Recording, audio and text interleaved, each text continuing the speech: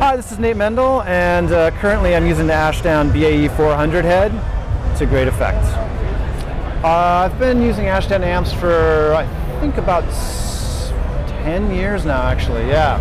I was having trouble getting the, the, the volume that I needed on stage without the amp breaking, up, breaking apart. Uh, this, my band is really loud on stage, and I was just having a, I was really frustrating trying to just get the amp up to the level without it just kind of farting out, for lack of a better term. You know that sound like. And um, a friend of mine, you know, we were talking about this problem, and he said, "Oh, you should try Ashdown," and I did, and uh, problem was gone.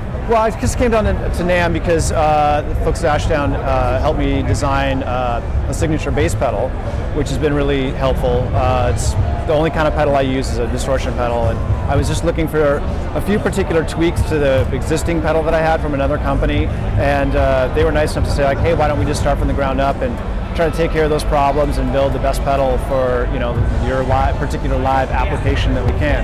So uh, that pedal's now out, and so I just came down here to talk about it to some people NAMM. And just because I just love the sweet vibes.